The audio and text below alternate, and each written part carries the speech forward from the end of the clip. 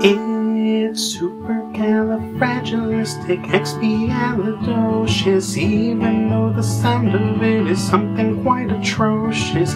If you say it loud enough, you'll always sound precocious. Supercalifragilisticexpialidocious. Um little little little um little I, um little little little um little I, um little little little um little I, um little little little um little. Because I was when I was just a lad. My father gave me nose a tweak and told me I was bad. But then one day I learned a word that saved me aching nose. The biggest word you ever heard, and this is how it goes. Supercalifragilisticexpialidocious. Even though the sound of it is something quite atrocious.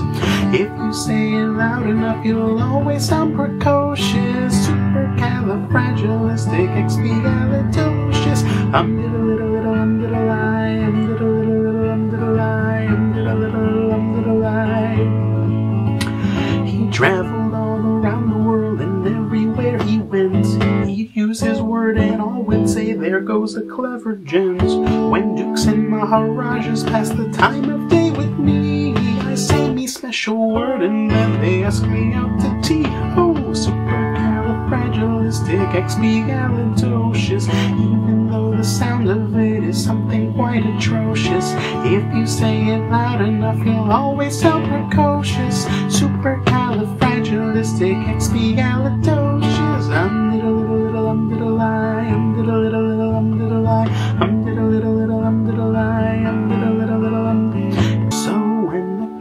Has got your tongue, there's no need for dismay.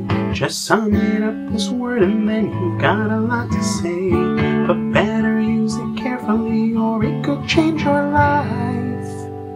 It's supercalifragilisticexpialidocious. Supercalifragilisticexpialidocious. Supercalifragilisticexpialidocious.